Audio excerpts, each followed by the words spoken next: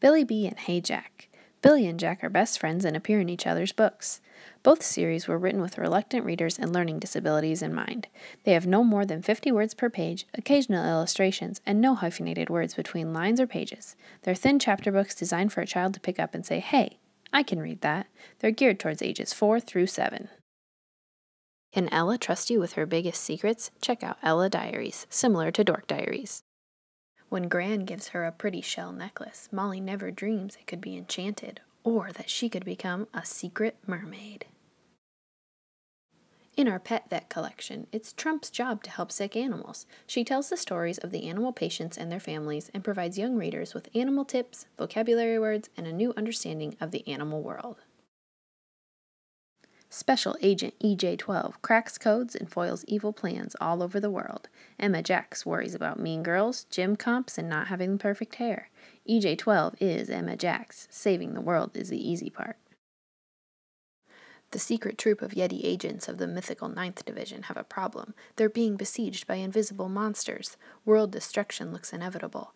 With comic strip chapter beginnings and detailed illustrations throughout, the Yeti agents' latest mission is sure to engage both reluctant and eager readers. My name's not actually Penny Dreadful, it's Penelope Jones. The dreadful part is my dad's joke. But in fact, I'm completely undreadful. It's just that sometimes my brilliant ideas turn into disasters. Our I Am Jack series is a dramatic, heart wrenching story about bullying and the power of love, family, and community to overcome it. Embellished with codes, clues, maps, and Jack facts to hold interest, our Jack Russell Dog Detective books are short, snappy mysteries and are perfect for newly confident readers. Eccentric billionaire Warren Wheelie Wheelnut has decided to mount the biggest, maddest, most off the scale competition ever. He has created five extreme racetracks, and it's not the chicanes and hairpin turns the drivers need to be worried about, it's the aliens and giant squid. Anna Hibiscus features warm, loving, multi generational family relationships, showcases daily life in modern Africa, illustrates the commonality of cultures and experiences, and inspires discussion on values.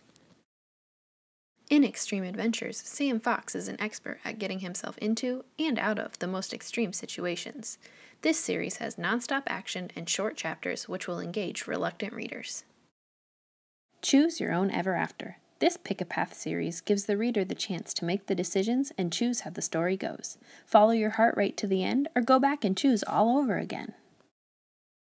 Hunted by the law and ruthless criminals, Cal must somehow uncover the truth about his father's mysterious death and a history changing secret.